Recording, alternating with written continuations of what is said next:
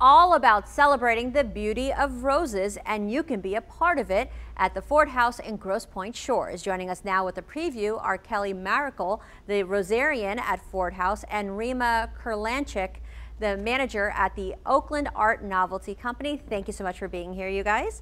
Kelly, let's start with you. Tell me a little bit about what the Evening of Roses is. Well, it's um, an evening out in Eleanor Ford's personal rose garden. It's a brand new event this year, and we're really looking forward to our guests experiencing everything rose.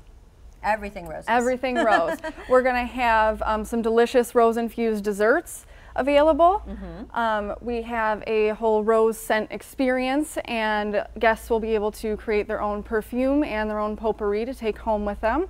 And of course we will have our rose infused custom created cocktail from Rima and the Oakland in Ferndale. Well, actually, now that you mentioned that, Rima, you're here making us a cocktail yeah, today, right? Can you tell me a little bit about what you're making and, and what, what it consists of? 100%. So I was very excited when we got invited to the event because earlier that week someone introduced me to this very lovely rose liqueur. So I thought it was absolutely perfect um, and decided to take inspiration from um, like the garden and just um, my idea was kind of Turkish delight idea. And so there's a little bit of lemon juice, a little bit of an almond-based sugar, mm -hmm. the rose liqueur, and a super delightful scotch. That's one of my favorites. I love that. I love the color of this. You know, because you think rose and then you're thinking rosé and then you're like, no, those are two separate things completely. Yeah.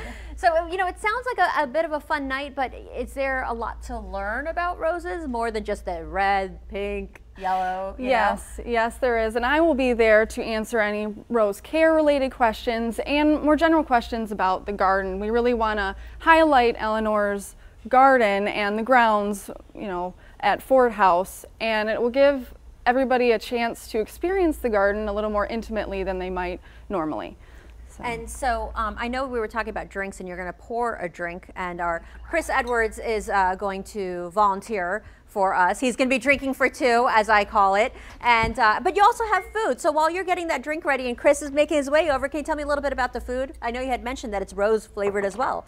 Yes, um, Pinwheel Bakery is making all the desserts. Um, this is a strawberry rose shortbread that we have today. There will be all kinds of other things, macarons and tarts for people to try and enjoy with their cocktails. So. And um, while the drink is still being made, I, I, know you said something about the perfume and the potpourri. Uh, tell me a little bit more about the perfume part of it because I'm actually wearing a rose perfume right now, so I'm all in. yeah, um, Alchemy Perfumery um, will be doing demonstrations how to how they distill rose oils from the plants and how they use that to create their perfumes. And they will have a setup where people can create their own with their rose oils and essences. And Rima, you want to just give a quick run through of what you're doing while I take a nib nibble out of this over here? Absolutely. So in this cocktail, we have a quarter ounce of fresh squeezed lemon juice, seven point or 0.75 ounces of an almond-based orgeat, the rose liqueur, one ounce of that, and one ounce of the scotch, a little bit of rose water, as well as some peychaud's that's going to add another lovely pink color. All right. Chris, you're okay with drinking a pink drink, right? I, I think I can handle that. Yes, but, you know, that was more precision than in meteorology very often. I, I like how you measured you were on that. Have to. Consistency's key. All right. While you're getting ready to pour that, let's drop some information on the screen. Evening of Roses is happening Thursday at the Edsel and Eleanor Ford House in Grosse Pointe Shores at 5.30 p.m. Tickets are $50 for members, 60 bucks for non-members. They're available at fordhouse.org. Obviously, but we have to say it, you must be 21 and over to attend. And this is such a beautiful little drink.